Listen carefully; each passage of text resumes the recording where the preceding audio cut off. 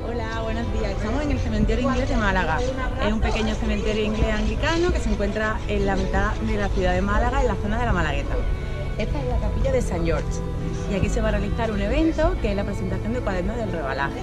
Eh, va a girar en torno al cementerio inglés y el mar, con lo cual va a estar la verdad que muy, muy animado.